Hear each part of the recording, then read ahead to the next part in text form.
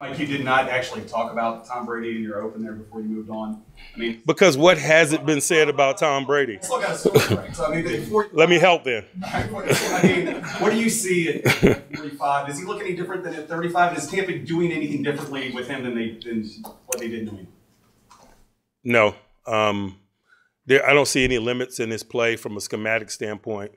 Um, I, the same things that that made him special at, at 35, I see at 45. Um, highly competitive, very good mechanically, field vision, ball placement, um, competitive.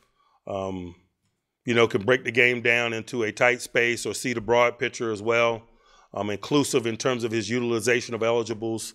I mean, it's um, you know, pick an, another time in the last 15, 16 years we played Tom and and and and, and produce one of those quotes. Nothing much has changed. Thank you for watching and please like and subscribe as I post a new Tom Brady video every day.